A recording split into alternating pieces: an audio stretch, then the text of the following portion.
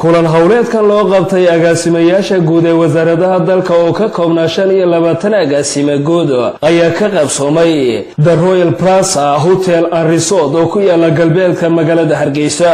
Ujeedadiisa ugu weyna waxay ahayd sidii loo dardargelin lahaa shaqada dowladda looguna garfayn lahaa dib shaqaalaha dowladda maadaamay agaasimayaasha guud ay yihiin lafdhabarta isku xidha shaqada iyo shaqaalaha. Waxaa kaloo barbar socotay sidii loo eegi lahaa qorshaha qaranka wixii ka qabsoomay waxa qabyoobay iyo sidii wax layskaga weydiin lahaa waddada saxda ee lagu wajihi karo caqabadaha ka hor yimaada howlaha qaranka. Wada shaqayn buuxda oo dardargelinteeda lahayna ay u dhexmari lahayd agaasimayaasha guud ee wasaaradaha dalka. Madaxweynaha qaranka somalilan mudane muuse bihi cabdi oo si rasmiya u furay shirkaasi ayaa si qoto dheer uga hadlay muhiimadda uu kulankaasi leeyahay. Shirku waa inoo furayin si rasmia horta waa ta koobaad agaasimayaasha guud inaynu isla fahmno shaqadooda. Waayo dadka waxay had iyo jeer dhibaatada u dhacdaa qofka waa la magacaabaa lama siiyo term of reference. War shaqadaada waa intaa iyo intaa iyo intaa waxaaba laga yaabaa ninkii isagoo karti badan oo aqoon badan inaan shaqada iyo waxa laga doonayaba aanu garanayn. Dabeetana meel kale uu garaaco dabeetana khilaaf yimaado isaga iyo wasiirka horta waxaan ku faraxsanahay halkan waxaa u baahan tihiin da'ad wax kasta ha rag mutacalimiin iyo gabdho mutacalimiina. Marka waxaa laydin soo dooray marka u horeysa dad aqoon badan leh oo dadku tacab ku leeyahay oo aqoontii la baray dadka ku jeheeya oo hore ugu maraya. Kow agaasimaha guud waa shaqaale dowladeed. Siyaasadda xeerkaa ka reebay. Xeerka shaqaalaha iyo xeerka doorashooyinku labaduba ay ka mamnuuceen agaasimaha guud iyo jaranka iyo ambasadarka iyo shaqaalaha dowladda eeda ahee waaweyn inay galaan xukuumadda haddaad maqasho waa agaasimaha guud iyo wixii ka hooseeya. Wasiirku waa meerto madaxweynuhu waa meerto shan sanay joogaan qorshay dhigaan qorshahaasaa la fuliya qorshaa laga rabaa siyaasiyiinta. Qorshe horumarineed oo dhibaatooyinka laga baxa saah la yeelo saah la yeelo saah la yeelo ay dhigaan ayaa laga rabaa. Marka qaranka waxaad u haysaan ugu horeysa laga rabaa inaanad ka samayn musuq maasuq oo cadaalad ku ilaalisaa waa waktiga inaad u shaqayso dadka. Madaxweynaha ayaa agaasimayaasha guud u soo jeediyey in bulshada ay u adeegayaan ay cadaalad ay u sameeyaan shaqada qarankana ay sideeda u gutaan. Marka agaasimaha guud intaasoo xel afuushay dadka aad hayso motivationkooda haddii adiga ay kaa dhigtaan qof ay ku dayan karaan cibaadadiisa cadaaladiisa hawshiisa aqoontiisa dadku way soconayaan. Laakiin hadday intaa adiga kaa baydhaan kaa duwan adig kula yaabaan dee dadka shaqayn maayo.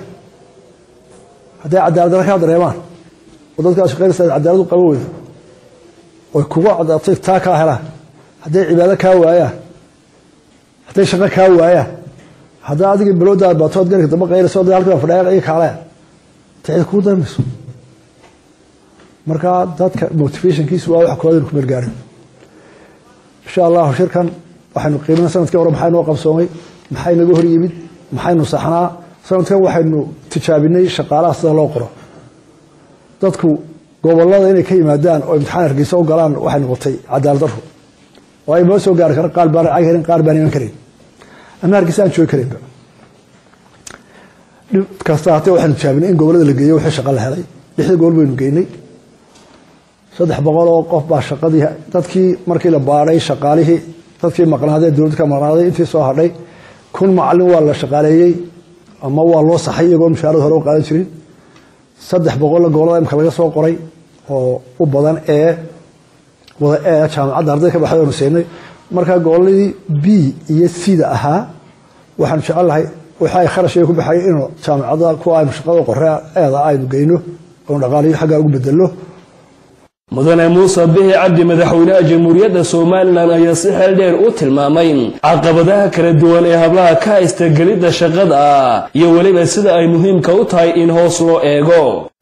Waa dhab hablo imtixaanka nimada lama tartami karaan sabab badan awood inanku markiskan uu keenay iyo dadaalkan uu keenay kala bar inan taale.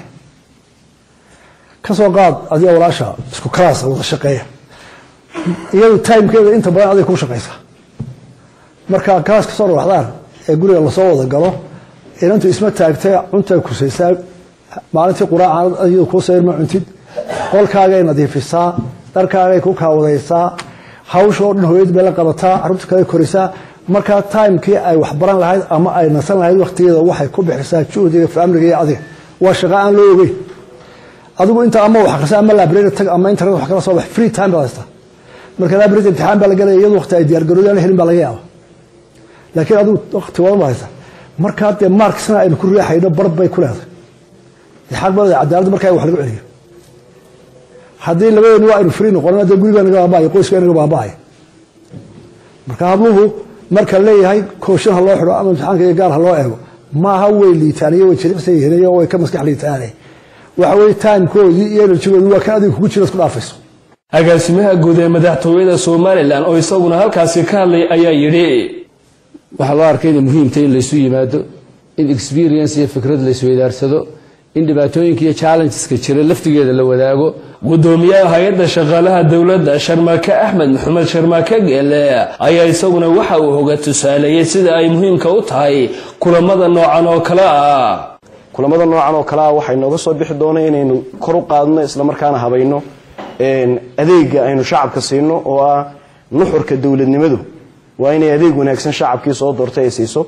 In kulan noocan oo kale agaasimayaasha guud iyo hay'adda shaqaaluhu isugu yimaadaan uu madaxweynuhu kulan sidan oo kale a qabanqaabiyana waxay kor u qaadi doontaa inaynu dib isku qiimayno wixii aynu ummadda u qabannay meelaha adeega aynu u baahnay inaynu ka sii horumarino. Kulankan loo qabtay agaasimayaasha guud ee wasaaradaha dalka ayaa muddo laba cisha waxa uu ka socon doonaa. The royal plaza hotel and resort oo ku yaalla galbeedka magaalada hargeysa. Madaxweynaha jamhuuriyadda somalilan ayaa hore kulankan oo kale ugu qabtay xubnaha golaha wasiirada axmed saki daahir xasan warbaahinta qaranka somalilan magaalada hargeysa